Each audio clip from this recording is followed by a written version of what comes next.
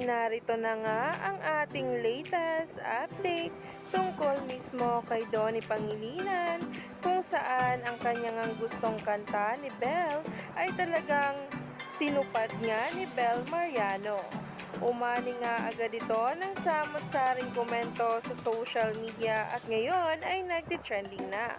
Kaya naman sabay-sabay nating tingnan ang naging highlight ng concert ni Belle Mariano na ngayon ay nagtitrending na.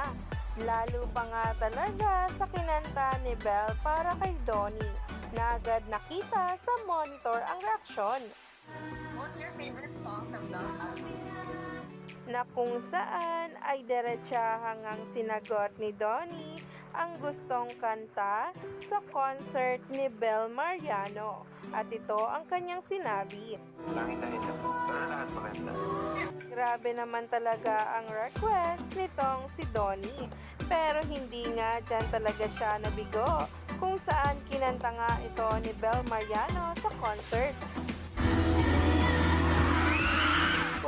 Saan agaw atensyon nga sa social media ngayon ang reaksyon ni Donnie Pangilinan nang kantahin nga ito ni Belle, ang tanging dahilan sa buhay niya.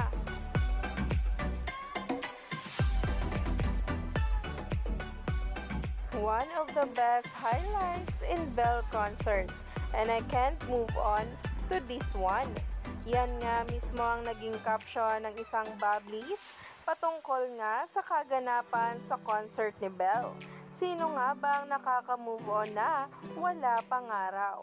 Lalo pa nga't sunod-sunod ang mga pasabog patungkol nga sa karir at personal na buhay ng dalawa. Himlay na himlay pa rin nga hanggang ngayon ang mga fans ng Don Bell, lalong-lalo na nga din ang mga sumuporta simula day one.